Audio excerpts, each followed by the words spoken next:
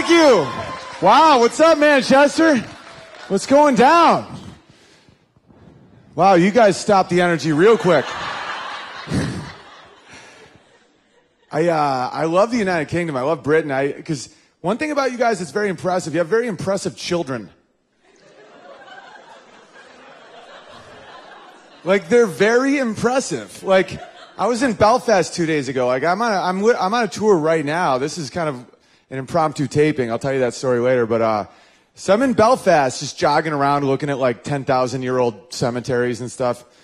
And uh, and these this pack of eight year olds. And I say pack because they were a pack. They were animals, right? And they come up to me, and I'm, I'm used to like eight year olds being innocent and nice. And uh, this, their leader comes up to me and just goes, Are you seven foot? I can't talk like you guys. That's how everyone sounds to me everywhere. this is how this is all real. He goes, Are you seven foot two?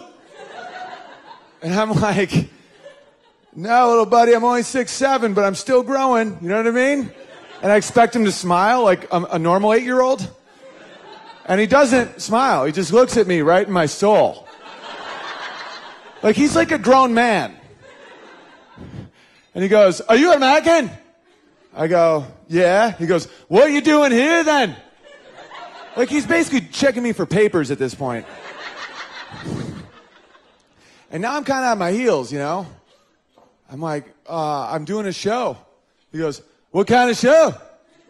I go, I'm a, a comedy show. He goes, Telling me a joke, funny man. He's eight. And at this point, I'm like, well, I, don't, I don't really tell jokes. It's like I do stand up. It's different. It's not really like jokes. It's like, he goes, ah, a funny man with no jokes, boys.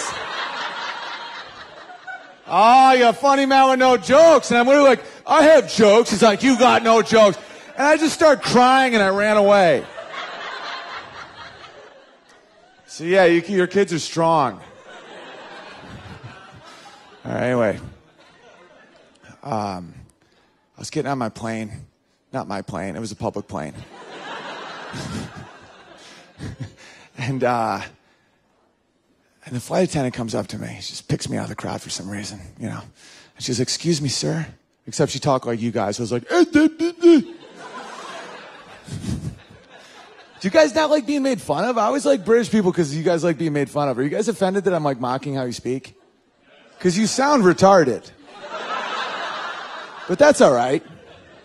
Anyway, so, so I'm getting on the plane, and this woman's like, Excuse me, sir, are you willing and able to sit in an exit row? And normally I wouldn't even be able to look her in the eye. I'd just be like, I think you have me confused with somebody else. Baby, I'm no hero.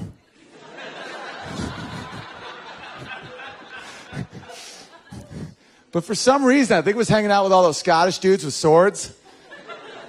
I just had like an extra shot of, of confidence. And she was like, Are you willing and able? And before she could even speak, I just go, You goddamn right I am. and her eyes twinkled. And she smiled like a hopeful smile. You know, like we're going to be okay. And I'm like, Yeah, we will. And she goes and reprints the boarding pass. She throws away my coward pass. And then she comes back. And when she reprints it, that's when all the people start noticing. That's when things get uncomfortable for me. You know, everyone's staring, especially the children. Children are innocent. So they're like, Mommy, is that the hero? And she's like, Yeah, baby, I want to fuck him so much more than daddy. it's true story. But I don't let that go to my head. Power corrupts, right? So I don't even listen. I just take my boarding pass and I nod at the people. They nod back, you know. That, some people are weeping. One guy's whacking off. so as I'm walking onto the plane, people are already seated and they look at me. They start being like, thank you. You know, they're trying to touch me. And I'm like, hell out of here. I'm like, I'm not here for me. Don't you praise me. I'm just a man here to save you people. And they're like, oh, everyone's getting so horny, you know? And, uh, and then I sit in the exit row. And I finally feel comfortable. I'm like, maybe I've been a hero this whole time. I didn't even know it. Maybe I just need to be tested. And then I got so excited, I started ordering drinks. I was like, yeah, give me a couple shots. And uh, before you know it, I was blacked out by 30,000 feet. So it turns out I wasn't a hero at all. I would have been a giant obstacle. if, if, if anything remotely went wrong, people would have died. Because I would have just been a giant piece of carbon in the way of safety, and everyone would have burned to death. But for a minute, I did feel like a hero. So fuck that kid from Belfast.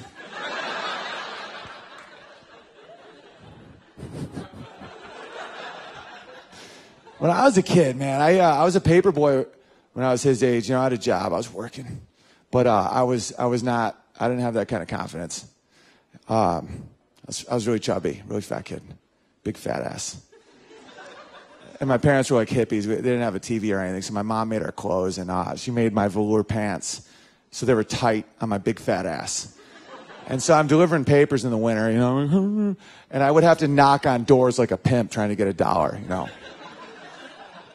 but There's one dude I remember opened the door. He's like, I owe you a dollar. I'm like, yes. And he's like, I don't have it. I'm like, but it's been like a month. He's like, he goes, I got a tip for you, bro. He's all tweaked out. Later, I realized he was on methamphetamines, but I did not know that at the time. He goes, I got a tip for you. I'm like, what? He goes, pussy will kill you, bro. and he just closed the door. And I have no idea what that means. I have no idea. But I'm like, what? I've just, it's stuck in my head forever, you know, because I didn't know what that meant. I was eight. And, uh, but now I kind of do. I want to tell you a quick story.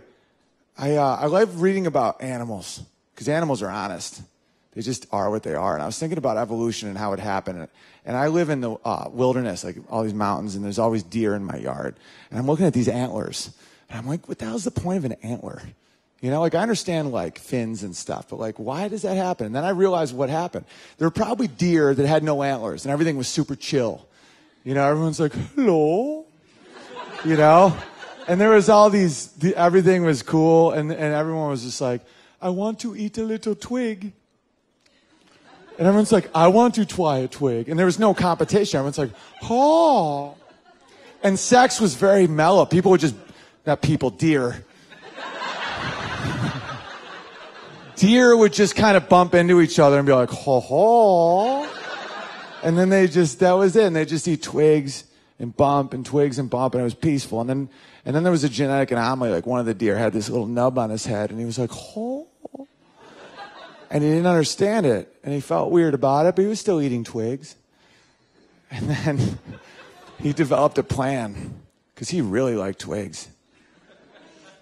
And so as all the deer were nibbling on the twig, he was just like, I'm gonna, I'm gonna do some something crazy. And he just goes, bam, he, and he hit another deer with his little nub. And everyone was like, oh, what's wrong with Bernard? and so all the male deer were all huddled up and they're like, he's, oh, he eats all the twigs. And Bernard's just like, you know, and so all the women are like, oh, look at Bernard, he's got all the twigs. So he gets all of it. He gets all of it. He gets all of it. And so the next generation of deer all have that nub because they're all children of Bernard. And then that goes on, it goes back to mellow twig eating, and then another one pops up. Boom, that guy gets an idea. Ta ta. Oh. So that keeps happening over and over and over again until these antlers just keep getting bigger and bigger and bigger. And I learned about a species, this is a true story. I learned about a species of deer in Ireland that their, their horns got so big that they, they couldn't even keep their head up. And they started dragging their heads on the ground because their horns got so big that they couldn't even lift up their heads. So they starved to death. They went extinct. And that is how pussy will kill you. Thank you. Hey, thank you guys. Appreciate that. Thank you. I'm glad you like that one. I, uh, getting uh, getting married's cool because that's the first time you ever really know a woman. I feel like because uh, you can't leave, and everyone knows that at that point. so you know, all cards are revealed, and uh, and I dig it because you don't really know a woman until you watch her watch the show Snapped on the Oxygen Channel. And I, I, you guys may not have that in England, but you have something like it. It's a show about women. They're true stories. They're documentaries about women who murder their man.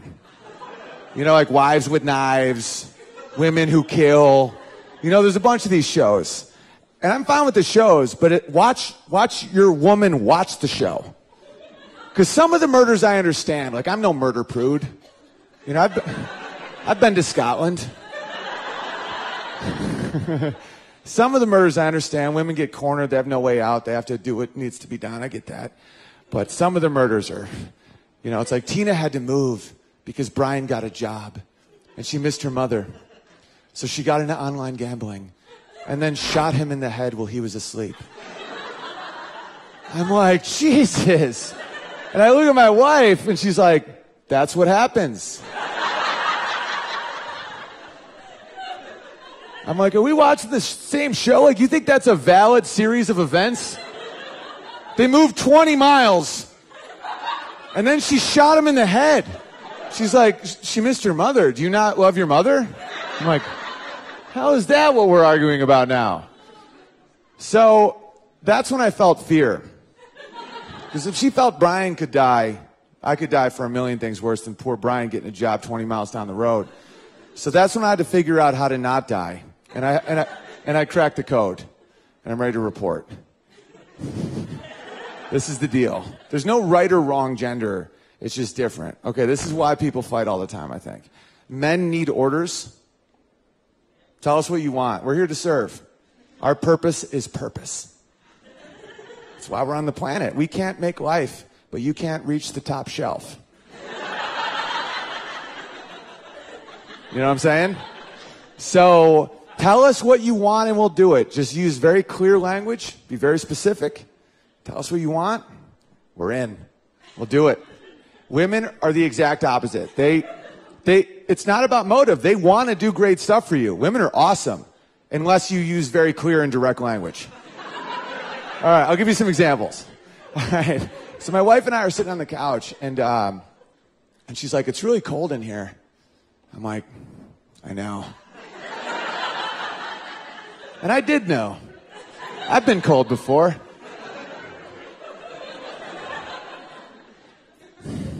And then I went back to wondering why glue doesn't stick to the inside of the glue bottle.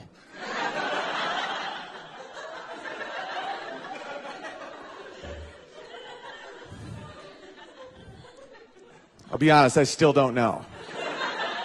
And I and I'm happy, I'm peaceful, you know? That's what I'm feeling at that point. From that point on, we're having very different experiences. You know, out of the corner of my eye, she's like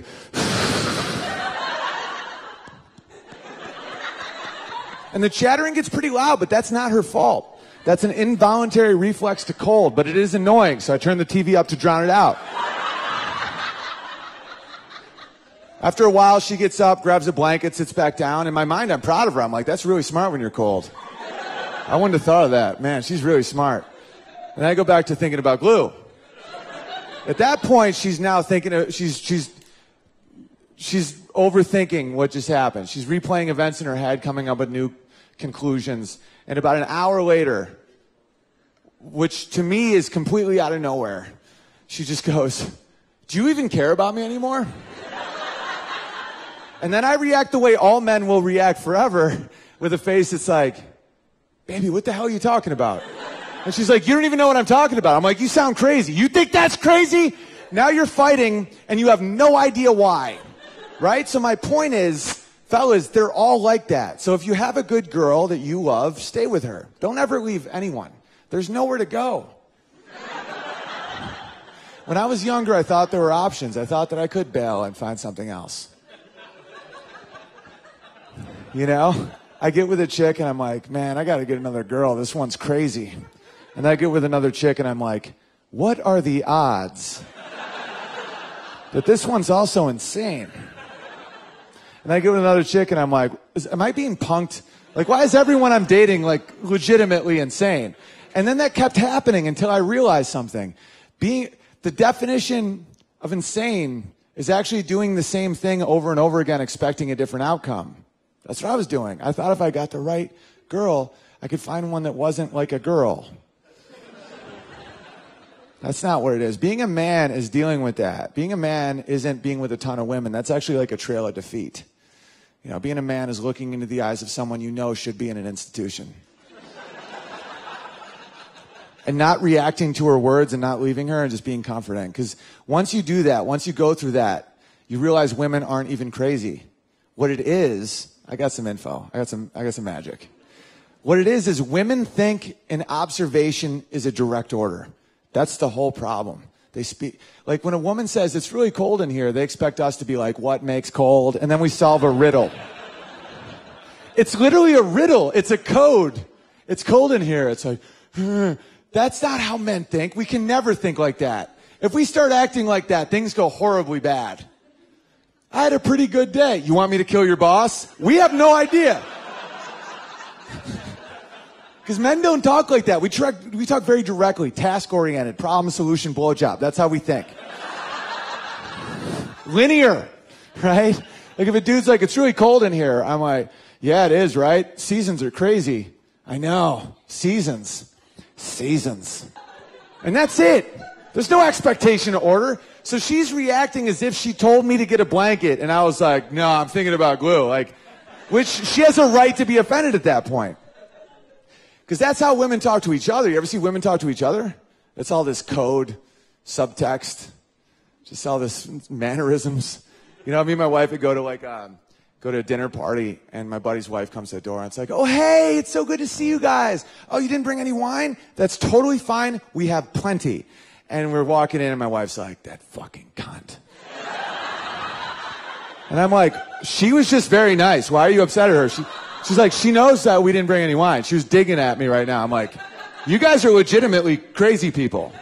It's just this Game of Thrones shit all the time. And uh, women have more power than they realize. Women sometimes feel powerless, you know, but they're not. If you give us a direct order, we'll do anything you say. Like men want to be men, and and to, this world is not made for men anymore. All the dragons are dead. You know, we're just sitting on our couch, just waiting for for something. You know, we're like, did I get a retweet? Oh, we have so much food. I have too much food. You know, we're just we just waiting. And then if your if your girl's like, baby, I'm really cold. Will you get me a blanket? We'd be like, baby, if I don't come back, I love you.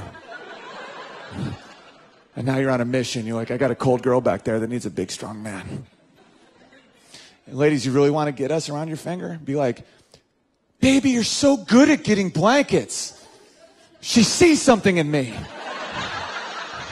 I don't want to disappoint her. She sees something in me that no one else has ever noticed. I'm good at blankets. Then you go to the blanket area and you don't want to disappoint her any, you know? She respects you. So that means you respect her. You're like, what's the best blanket? I'm not just going to grab anything. That one's too thin. That one's too thick. That one, I believe, is still covered in semen.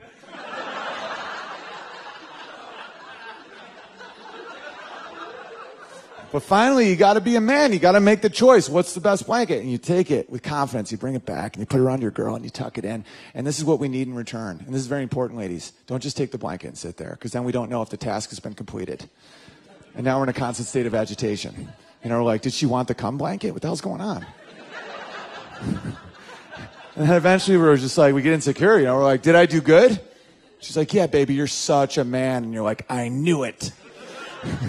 And that would be fine if that was all it is. But that's not all it is. Women are the opposite. Women want to do stuff for you. They're insanely kind and they're also insanely horny. They want you bad. They want to get on it bad. Unless you tell them to. Then they don't. Ha! and that's universal. right? I'll give, I'll give you some examples. This is what you should, unless they're ovulating sometimes. I don't know why I felt I had to say that because I try to be really honest. There are like uh, like one day a month sometimes. anyway, so that's not part of the joke. I just didn't want you to not think that every now and then it. All right, whatever. So. this is what you should do, right? This is the best move you can possibly do. If you come home and your girl's there, be like, hey, baby, I had a really bad day. You look amazing. I love you. Don't say one more word.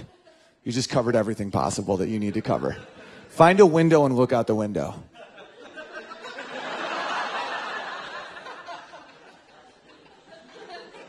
Because she'll notice you, and that's when she looks up to you. She's like, look at him looking out that window. I wonder what happened today. Why is he in so much pain? You're not. You're still wondering about glue. You're like, is there a vacuum in there? Like, why isn't it sticky? But don't say that out loud. Just look stoic, right? And she's like, I'm going to do something good for him. He deserves something good today. I'm going to make him some hot cocoa. I know he loves hot cocoa. I'm going to feed my bear a little hot cocoa.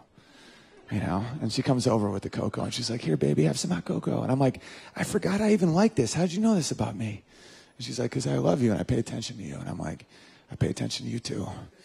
And before you know it, you're inside of her, right? Yeah.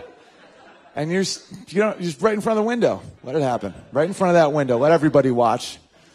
You know, but you're also holding a hot beverage, so you can't pump too hard. Okay, here's another scenario that's infinitely more probable. that's never happened to me. I've never had sex holding cocoa. no. you come home, you're like, hey, baby, I had a bad day. Make me cocoa. You feel that in the room? You think that's my job to make you cocoa? I'm like, yeah, that is your job. Make me cocoa. It's like, you think that's my job? I'm like, yeah, and so is this. And you unzip.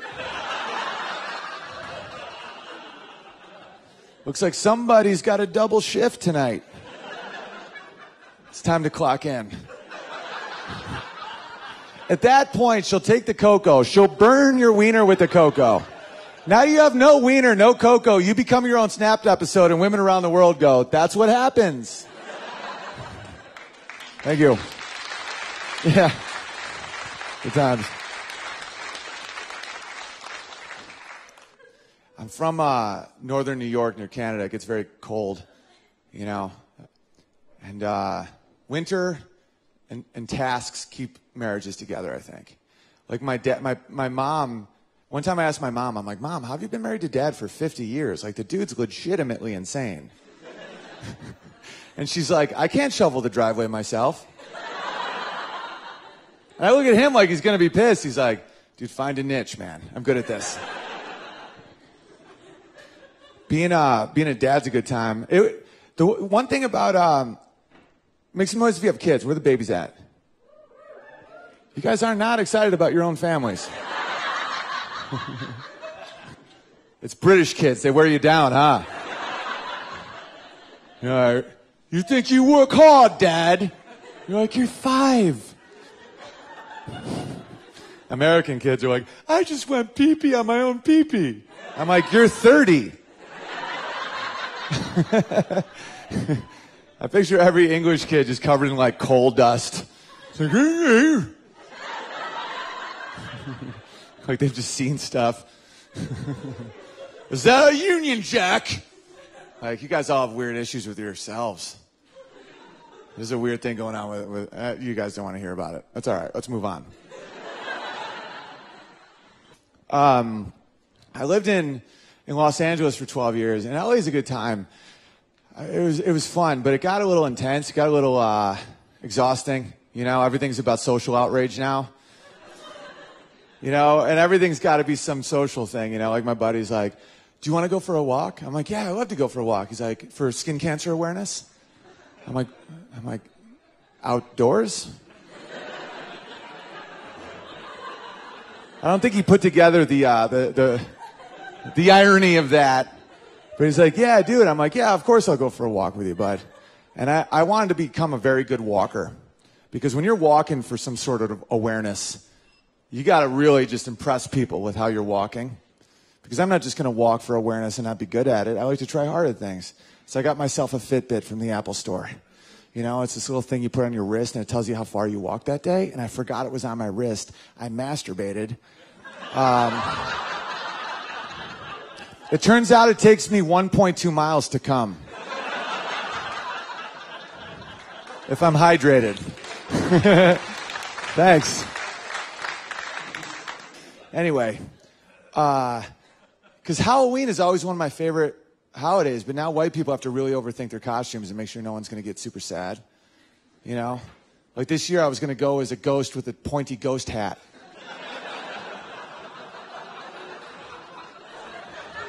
Because my whole life, I've loved ghosts and pointy hats.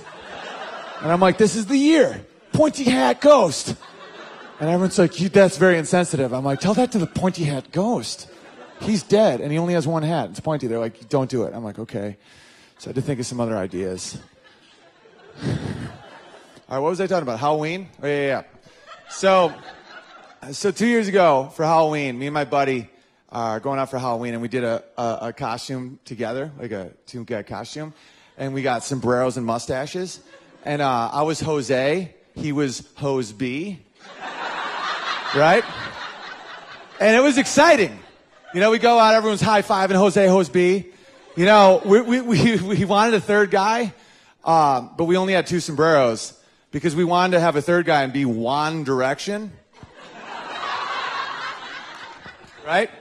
And everyone's high five. We're having a great time. And then the same dude that had me do the skin cancer awareness walk is like eyeballing me. And I'm like, what's wrong with this guy? And he comes over and he's like, excuse me. Excuse me. And I'm like, you talking to Jose or Jose B? Because we're in character. And he's like, I'm talking to you, Owen. And at that point, I know I'm in trouble, you know? I'm like, what's wrong, little man? I didn't mean that condescendingly. Little guys take that offensively sometimes. Like, I'm like, sorry. What's wrong, uh, small man? And he's like, you're wearing a sombrero. I'm like, yeah, that's what Jose wears. So does Jose B. Would you like to be in One Direction? And he goes, that's, that's offensive. You can't wear that hat. That's not your hat, white man. That's their hat. I'm like, the hell are you talking about, dude? He goes, that's cultural appropriation. And I didn't know what that meant because I'm fun to be around.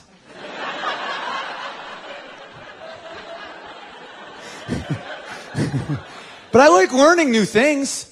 So I'm like, I looked it up, looked up cultural appropriation, and it turns out what it means is when one culture adapts traits of another culture. You know, I always thought that was assimilation. I always thought that was a good thing.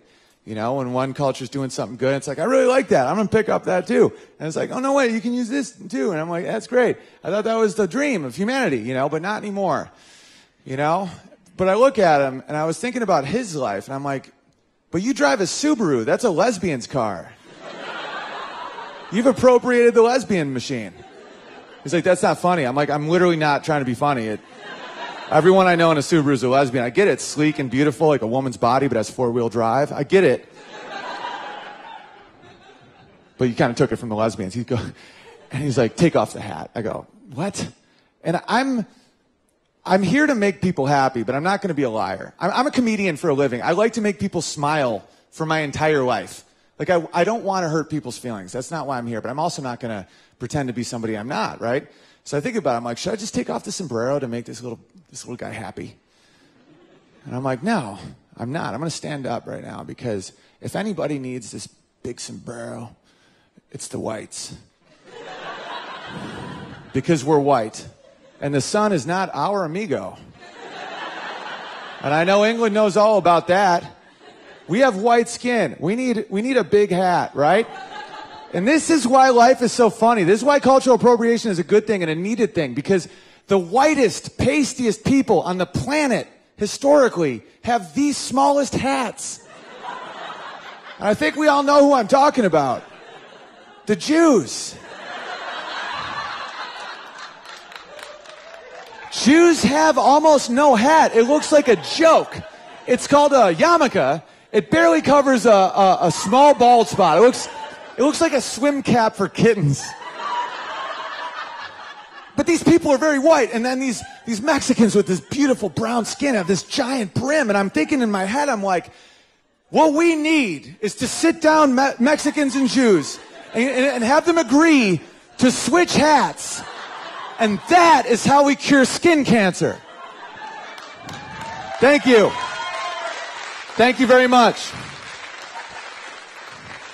Think about how more effective that is than walking in a park.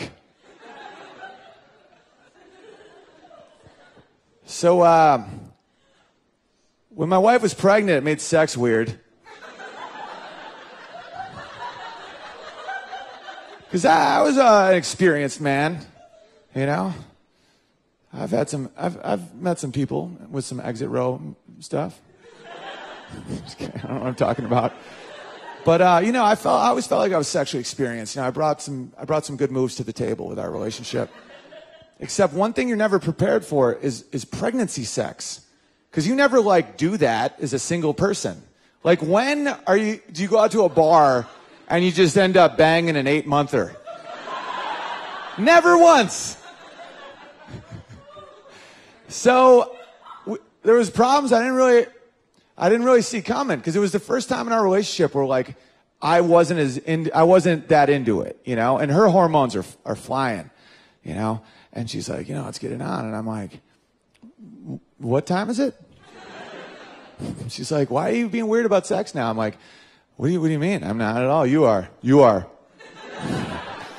and she's, it's you, not me. It's you, not me. And, um, and she goes, "Do you think I'm, I'm, I'm fat or I'm ugly or what? I go, no, no, you're beautiful. You look stunning. Legitimately, you look awesome. She's like, then what is it? I'm like, you, you seriously want to know? She's like, yeah. I'm like, I feel like, uh, I feel like my wiener's getting near the baby. and I couldn't stop thinking about it every time we'd have sex. Like, because when someone's pregnant and you love your woman and you, you can't wait to meet your child, you know, you don't want to like pound. You want to be like, rockabye baby on the tree. You can be anything you want, little buddy. I'm going to love you and I'm going to take care of you. And your wife's like, you know, and I'm like, ah. Um, and I'm like, I think my wiener's getting near the baby. And, and she just started laughing, which I took as an insult. She's openly laughing. She's like, ha ha ha. I'm like, what, what do you, what do you mean? You don't think it's getting near the baby? She's like, no, you're, you're good. You're good. And I was like, no, it's, it's probably touching, it's probably touching his forehead. It's probably going past the baby, like. Just a little FYI for those of you that don't have children. When you watch your wife give birth to a baby, you realize your dick never mattered. Like a baby's head is like that big around. And the whole time I'm like, oh, thanks for pretending like there was something going on with my dick. Like that's literally insane. It's a thousand times bigger than my penis. But anyway, so she goes, go talk to your doctor. Ask him, ask him about your situation, your little conundrum. I'm like, uh, maybe I will. Maybe I'll go get a medical opinion. She's like, do it. I'm like, I will. Because I like my doctor. He's a good guy. So I go in. And I'm like, so doc, what's going on in there? You know, is my little boy dodging jabs or what? He's like, what? I go, does he think there's an intruder that can't make up his mind? Am I giving my kid dimples, doc? What's going on? Is my dick, is my dick getting near the baby? He just goes, no, no, you're fine. The penis does not come. It doesn't even pass the cervix. The penis, the penis doesn't come anywhere near the baby. And this is when things got uncomfortable because I try to not be, I try to not make generalizations or anything in life, but uh, my doctor's like a little Asian guy. I know, right? You guys get it. So when he, so I, I didn't know what I should say at this point, but I finally did. I go, Doc, when you say the penis, do you mean yours or mine? And he just looks at me. And without missing a beat, he just goes, It's funny you say that because mine's actually bigger than yours. and this dude's like five two, right? I'm thinking about it. I'm like, because this is such a power move at this point because uh, he has knowledge I don't have. He's seen my penis. I've never seen his penis. He could be right, he could be wrong. I have no way of knowing. So I did what anybody in this situation would do. I'm like, all right, Dr. Kobayashi. Let me see that. Let me see that hammer of yours. Let me see what you got. And he goes, I can't do that. You could sue me. And I'm like, well played. so I started obsessing about it. I couldn't stop thinking about it. I'm like, is, does he have a big, does he have a bigger wiener than me? You know, and I don't, I don't even care about wiener size. I just care about the fact that a man who's five two and Asian could potentially have a bigger wiener than me. Like, even if it was like an ear or a foot, that's weird. Dude's this big. So now I'm starting to get respect for him. I'm like, wow, check out the kickstand on that guy. But I needed to know. So one night late at night, I come up with something. I'm like, maybe we both are right. So I text him. I go, You've never seen mine hard. because I realized that he's only seen my penis when it's scared and cold. and I'm like, I got more to offer. You've never seen my mine hard. And my wife goes, What did you just text him? I'm like, He's never seen mine hard. She goes, Why would you text that to him? That's crazy. I go, He knows it's not sexual. There's no winky face at the end. and then I see three dots pop up like he's writing back, and then the dots went away with no text, and we've never talked again. Uh, so there, women need a lot of support, you know, but it's gotten a little overblown now. Uh, people would talk about sexism all the time. I don't know if you guys have that in uh, in Manchester, where it's just constant bickering and tweeting. Uh, just constant. Uh, you know, there's sexism against men as well. We just don't bring it up as often because we like to be fun to be around. like, I'll give you an example that's pretty funny. Have you ever thought about this? It's acceptable for women during sex to say deeper. You ever think about how funny that is? Because men are seeking approval. We're, we're, we want task. We want to know if we're doing a good job. Even when we try to sound dirty, we're like, yeah, yeah, you like that? yeah, you like that? You like that? Yeah, you like that? Do you like that? Approve of that? Is that good? You like what I'm doing? Is that good? You like that? And your girl's like, deeper! And you're like, yeah. Yeah, like that? You like that? You like that? She's like, deeper! You're like, baby, I'm running out of theories here. You like that? You know, it's like, ladies, you think we're holding out on you? The fact you say deeper means you think we're keeping some dick for ourselves. That's exactly what it means. When you say deeper, that implies choice. That there's any way that th- your guy is like, when you're like, deeper, and he's like, not yet. deeper. No, baby, you can't handle that bass inch. I'm not withholding. I'm doing it for you. I don't think you can, it'll blow your mind. Deeper. No, no, no, not till Christmas. Have a whole thing planned. How would women react if we said tighter? Are you offended? It's the same fucking thing! Women would lose their minds. They, just, they'd start marching, ah, tweeting, ah. But here's how awesome guys are. We're not offended at all. Keep saying it because it, it's at least it's a task. We think it's sexy, to be honest with you. You say deeper, we try and find a way. Deeper, like, all right, Captain, I'll trim some pubes. I'll lose some weight. I got another quarter inch in there, coach. Just let me back in the game. Give me one more pump. Ladies, I'm going to tell you something on behalf of all men. I'll tell you right now, we're going as deep as we possibly can from our first pump to our dying pump. We give you people all the cock we have.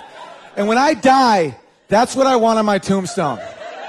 He gave you people every inch he had, every day of his life, and he died happy wearing a sombrero and mittens.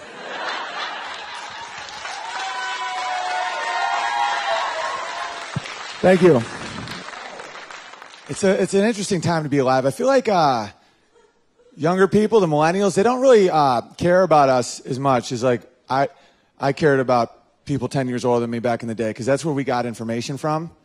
Now with the internet, we're kind of cut out. No one cares. And I got information from people that they're never going to learn online. There's something about human contact, you know? When you just tell somebody about life. Like, for example, you're not going to learn on Google how to get out of a fight that you can't win. You know, you're at a bar, some dude tries to beat your ass Where's that Google search? I'll tell you how to get out of that. If someone tries to beat you up and you know you can't win, you drop your pants and you start whacking off.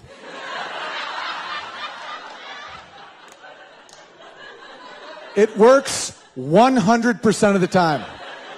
Because a man who wants to beat your ass will not be a part of you getting off. Like, who's gonna punch a guy whacking off? You're like, yeah, yeah, hit me, hit me.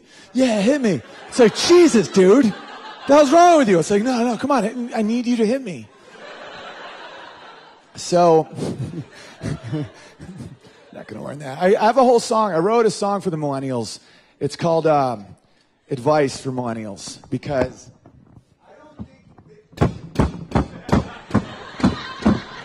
I don't think. Uh,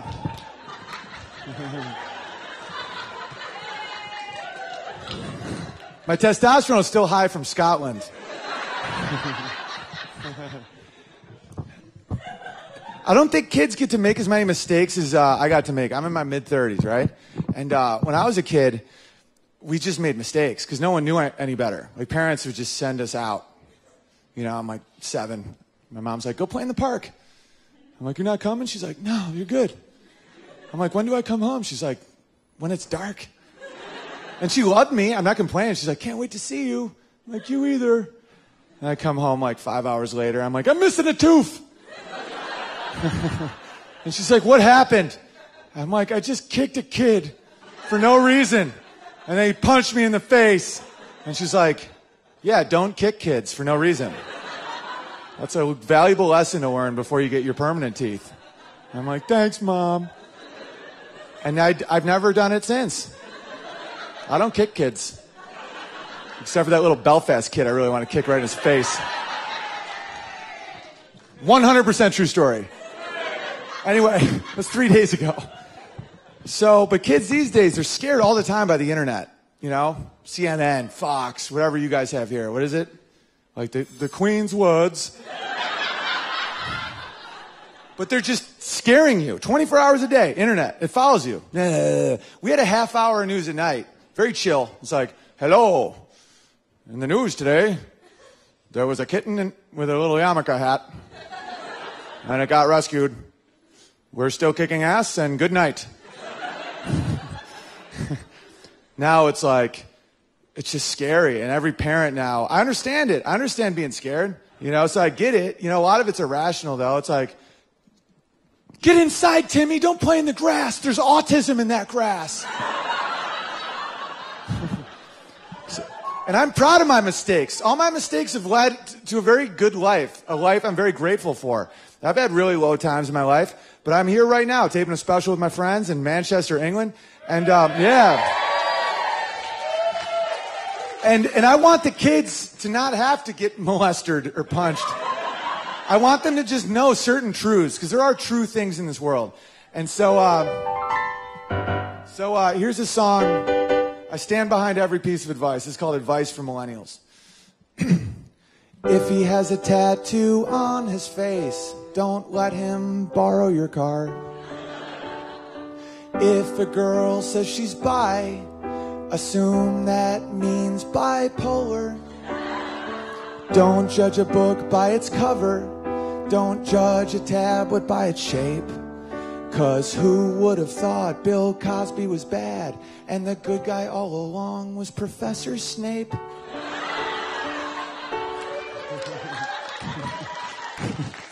The most important decision of your day is when to switch from coffee to wine. And remember to look up from your phone sometimes.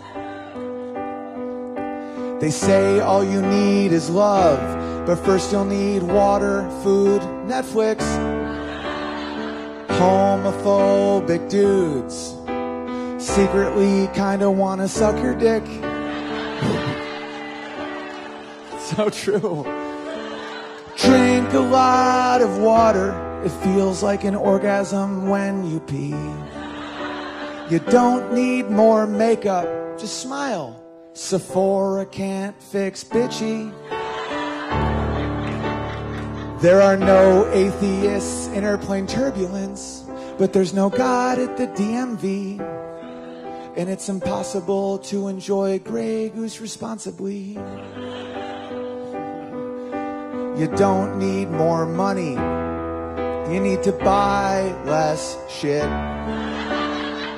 When a girl makes a duck face, it's impolite to throw bread at it.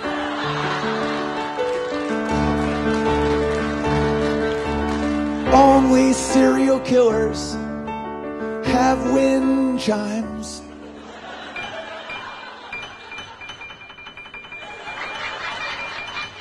And remember to look up from your phone sometimes.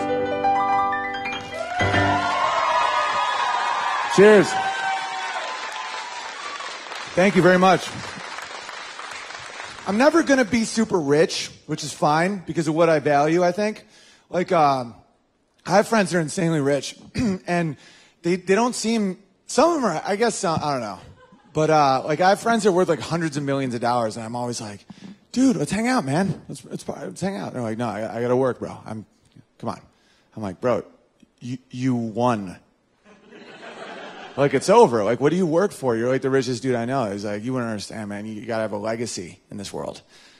I, I can't even keep a straight face at that point. I'm like, well, what legacy, bro? You work for Wells Fargo. What's your legacy? He's like, I want a legacy. I go, dude, Julius Caesar took over the entire world with a sword. What's his legacy? A salad. Ha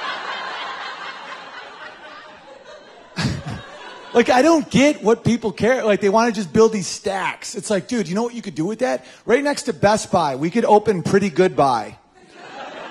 and just see what people did. Take a billion dollar loss. Who cares? We have a billion and ten. do you guys not know what Best Buy is here? There's a few things that I felt. Like DMV, you guys don't know, right? Do you guys not know Toyota? You do know Toyota? Oh, you guys are just being vicious little cunts. No, that's all right. So anyway, I learned that word from the Scottish. Apparently, it's not as offensive as we thought it was. They keep calling me a funny cunt and then high fiving me and then stabbing me. Anyway, I would do this commercial on national television if I was like ridiculously rich for no reason, just to see what people did. I'd be like, this Christmas, give her what she has wanted. Uh, real quick, I would hire like George Clooney to do it. I'd give him like a billion dollars.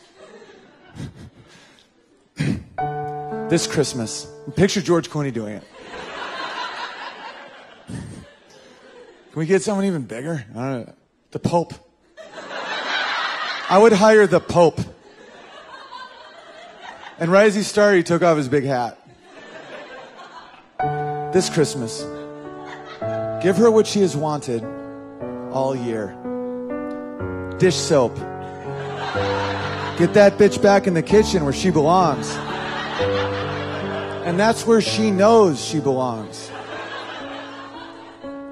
This November, when she goes off to vote, ask yourself, why does she get to vote?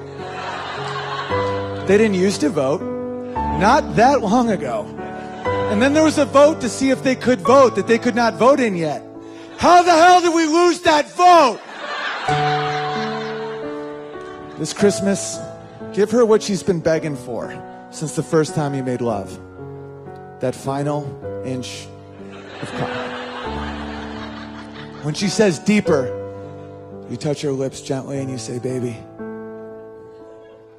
Merry Christmas. And then he puts his hat back on.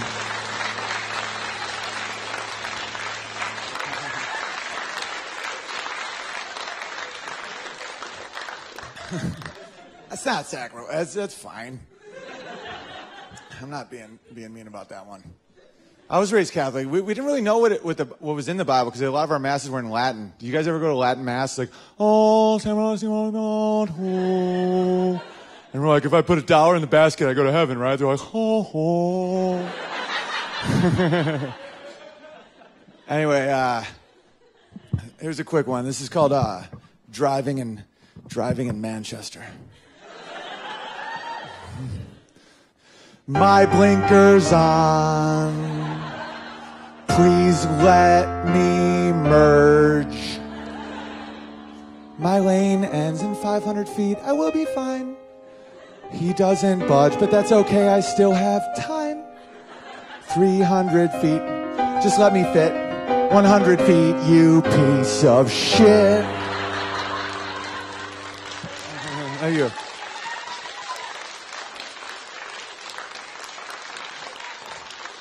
It's a good time to be alive, man. I'm trying. It's a good time to be alive. Um, I love music a lot. I, I love music. I love being at a bar.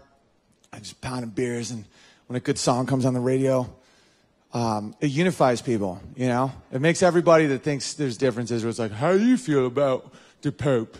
It's like, how you feel about the Queen? That's literally how you guys sound. You don't even realize it. What do you do at the end of the prayer? You say the, the thing that we say? Who's your football team? I'm watching that. I'm like, if that was real football, I could run full speed into your back. No, I get it. Your football, it, should be called football. You play with your feet. I know that we messed up in America. But ours is just so violent. Um, anyway, uh, like you're at a bar and a song will just come on, it just unifies people. It's like, it's just like, it's out of nowhere. It's like, I got my first real six string. And people having a bad day are just like,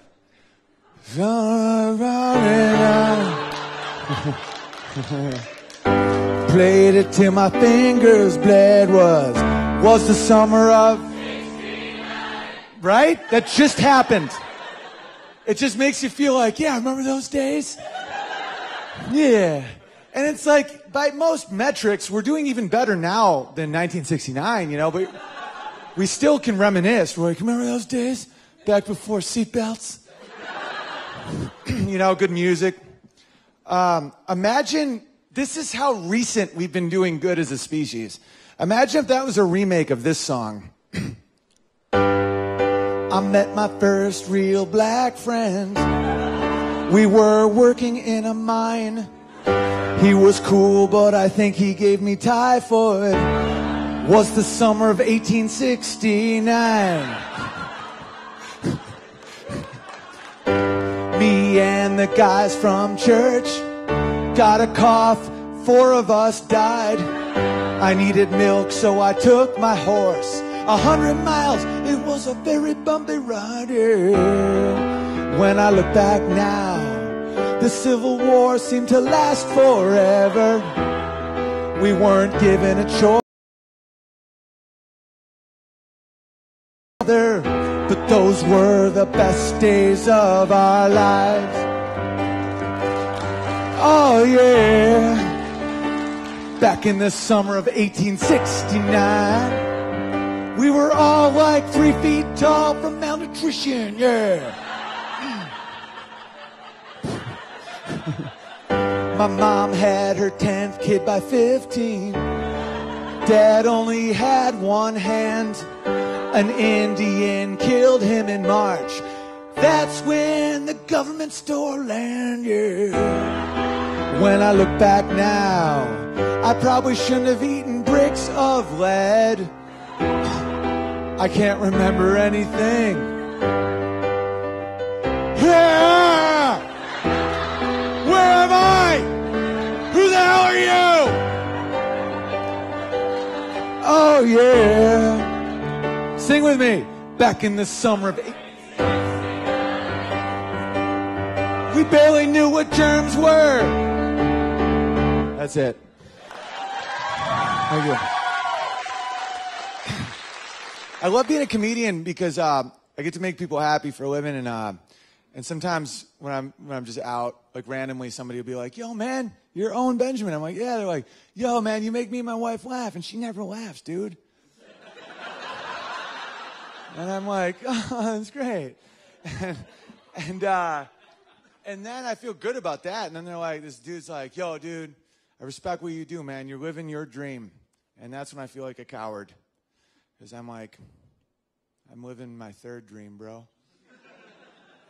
Because this wasn't my first, my number one dream. This is my third dream. This is my backup, backup dream. I had other dreams. My first dream was to be a real musician. Like, I want to be a real, super serious ballad singer. Like, I want to be one of these guys, like.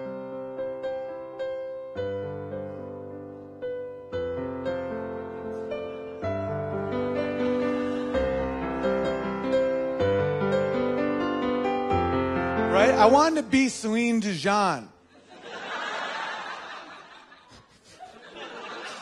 and but the thing about comedy, it's like when you're really honest. That's why maybe I was a dick to you guys for a little bit, but that that's part of the problem.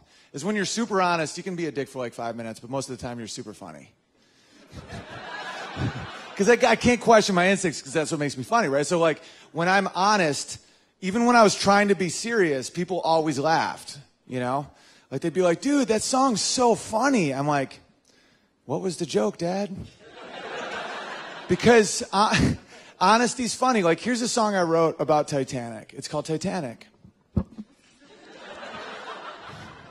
Women thought it was romantic when Jack and Rose sank on the Titanic. Even though there was clearly plenty of room on the floating thing for DiCaprio. But he wanted to bail, so he let go. She said, Hold on, Jack. He said, Nah, I'm good. He'd rather die than just float with her.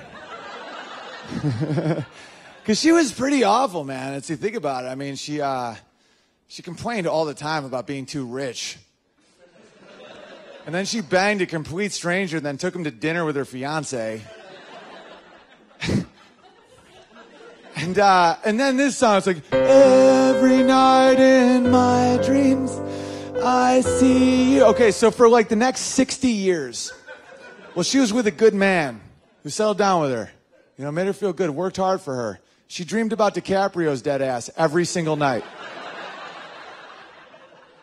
and the whole time, she, the, every day, her husband, Rose, Rose's husband, went to work and worked his ass off. She had a big, giant diamond. And did she give it to her granddaughter at the end of the movie? No. That cunt threw it in the ocean! God damn it, Rose!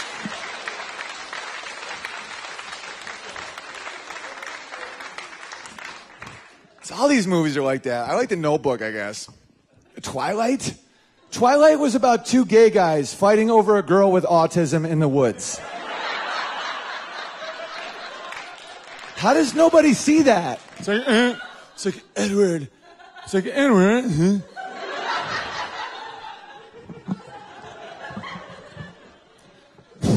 Anyway, like, that's the first time I understood negative cultural appropriation. Like, imagine being an actual vampire.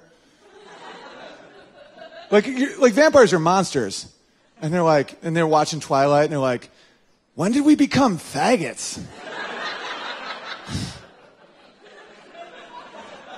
like, because the thing I don't understand about um, popular music is some people can't write music uh, which I'm fine with. Like Coldplay, I love Coldplay, but I do, I really do like Coldplay a lot. But I mean, what is this about? Look at the stars, look how they shine for you. And women and gay guys are like, me, everything you do.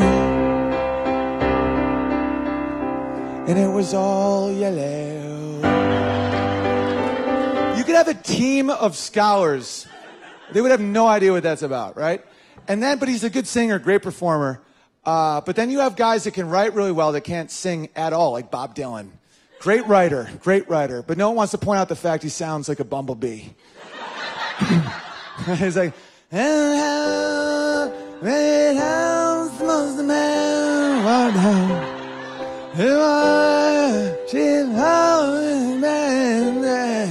Everyone's like, oh my god.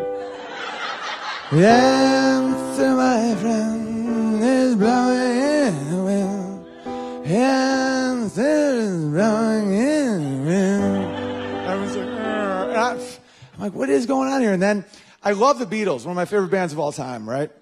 And when they, and John Lennon, yeah, Beatles are great. John Lennon moved to America and we promised we weren't going to shoot him. you know? He's, he's a wonderful man and he's a brilliant man, and he was moving to New York City, and we all promised, we're like, we will not shoot this guy. but, uh, yeah, we ended up shooting him in the head, and he died. We're, we're really sorry. You know? Um, but the more I think about John Lennon, I love a lot of his songs. Like Mother is a great song, and uh, Jealous Guy, great song. Uh, but his biggest song that I've, I've watched on tape, a quarter million people weep to publicly, is called Imagine. And the older I get, and the more I pay taxes and whatnot, uh, the more I rethink the lyrics of Imagine. And uh, this is me responding to Imagine from the audience as an adult.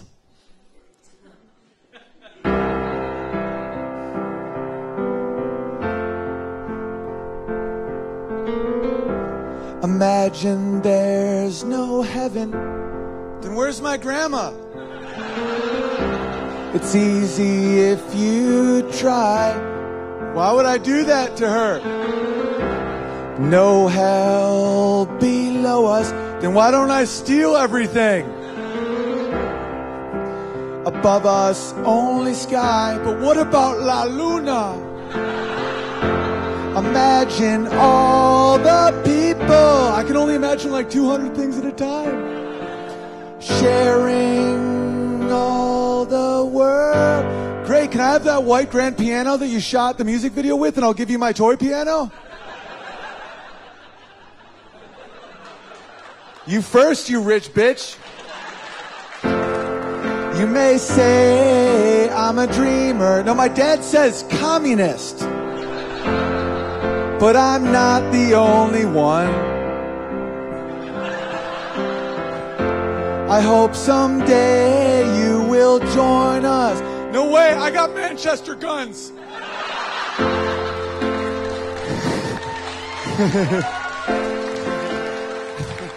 and the world will live as one. Only if everyone's dead but you. Imagine there's no countries. Then why did you move to America and not Nigeria if it doesn't matter?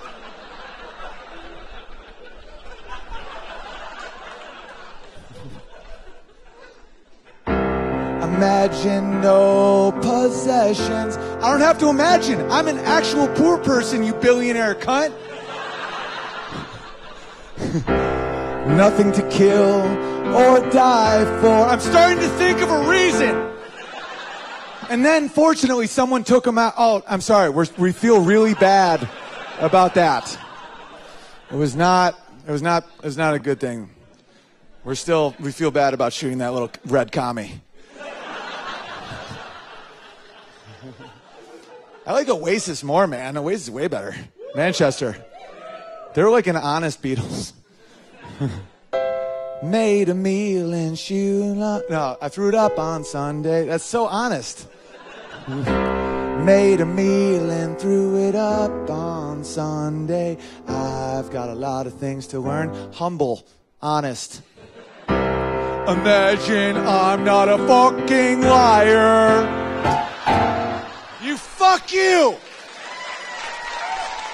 Sorry, I shouldn't have said that. I got carried away. He was not. He was not a good man who killed John Lennon. John Lennon was a, a beautiful person and also probably trying to spread something called an ideological contagion. just kidding. I'm just kidding. Am I? You guys don't even know.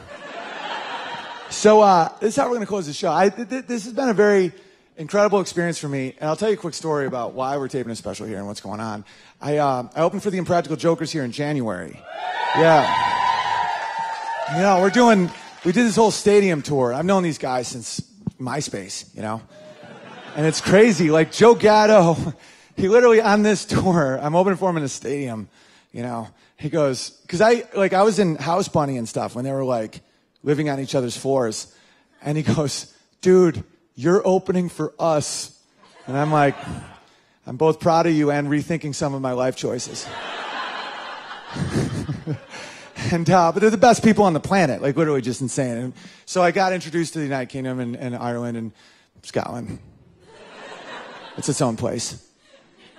Anyway, um, and so me and another really close friend of mine that I, I met along the way, and she's amazing. And she was like, dude, let's just put together a tour. And I'm like, let's just do that. We can just do things. She's like, yeah, we'll just do things. So she puts together this tour.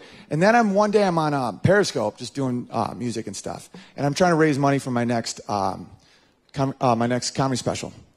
And uh, some dude just writes, he just goes, I'm not even going to try your accents anymore.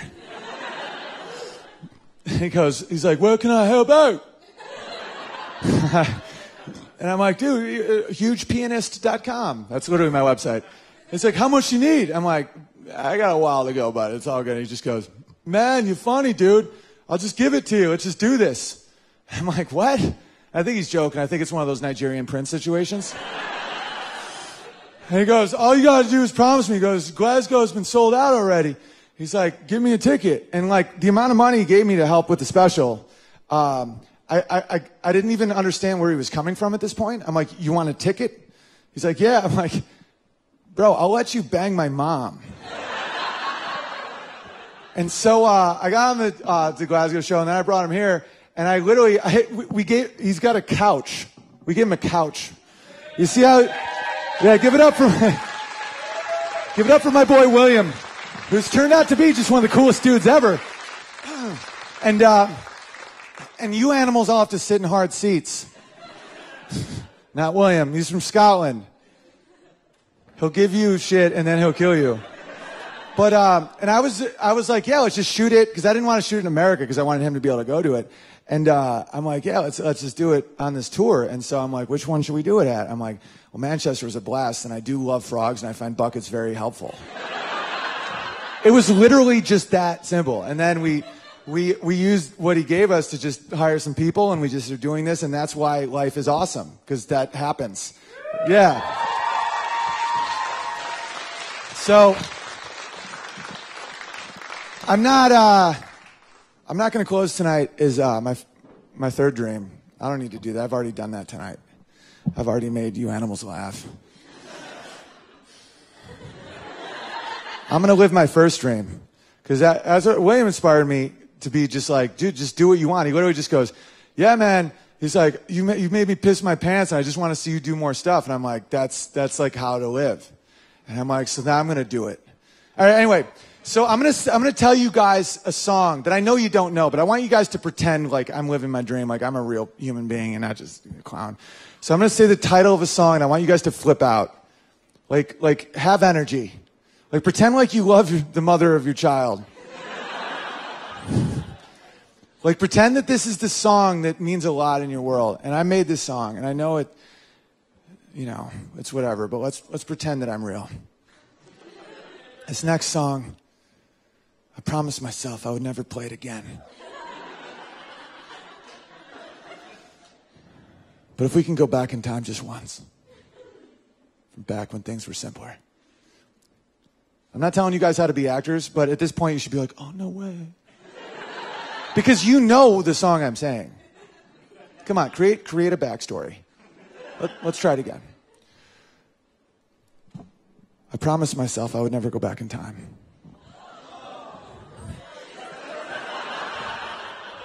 But if we can go back in time just once, yeah. I'm pretty sure you remember this one. It's called Feel My Heat.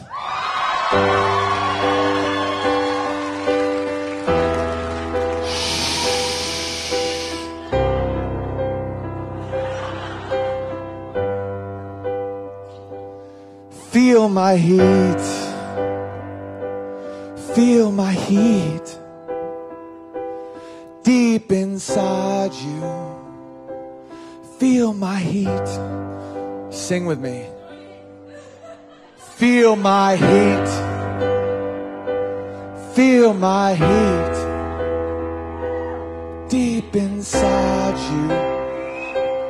Feel my heat. Okay, that was subpar. And it may be my fault. I've been doing that song now for a year and a half, and it has not caught on. I turn on the radio every damn day wearing my PJs, and I listen. Feel my heat coming on? My wife's like, here's some hot cocoa, baby, and I pound on her for a while. It's the only thing that can get my brain good. It's just draining the balls of the poison, you know what I mean? but I think I cracked the code. I have a brand new hit tonight. Anyway, so I'm gonna, I figured out that I just have to tell you guys how to react. And that way I can actually live my dream because I'm never gonna be my first dream. I've tried and tried and tried, and everyone just keeps laughing and sucking me off.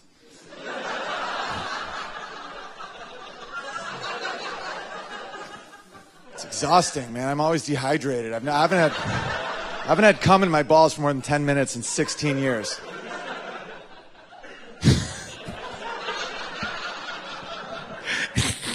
that, that's not true. Don't leave anything in the tank on this one. If it isn't good enough, I will cancel my second show and I will fucking fight every one of you as I'm jerking off.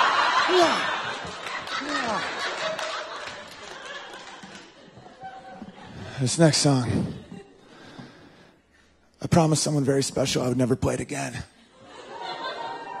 Shh. But if we can go back in time just once, you may remember this one from back in the day. I barely do. It's called Feed the Bear.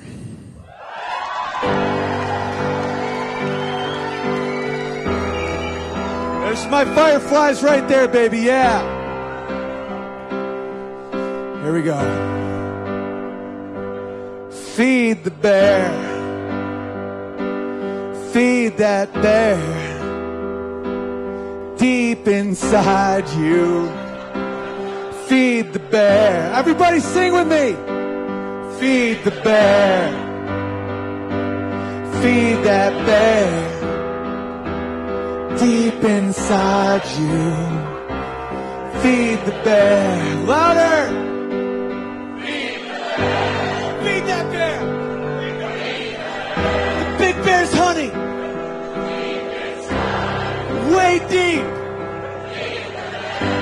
Big bear scratches back on a big tree.